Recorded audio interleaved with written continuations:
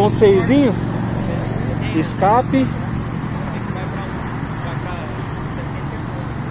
É isso.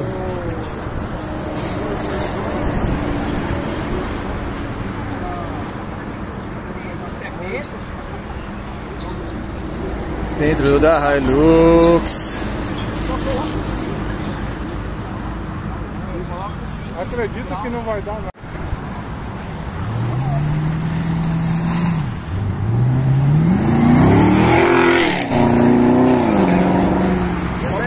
Só porque você falou. Só porque você falou. Aí